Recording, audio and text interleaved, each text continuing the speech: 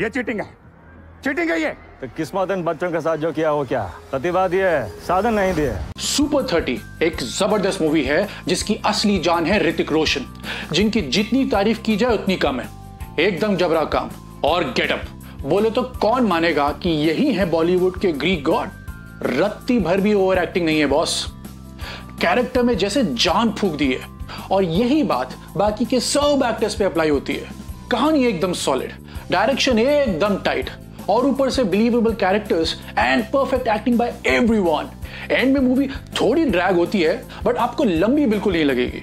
तो ज़रूर जाओ और देखो इस सुपर से भी ऊपर मूवी को, जिसका नाम है सुपर थर्टी चलो जी this is mad over movies please don't forget to follow cause it's for a noble cause जय हिंद।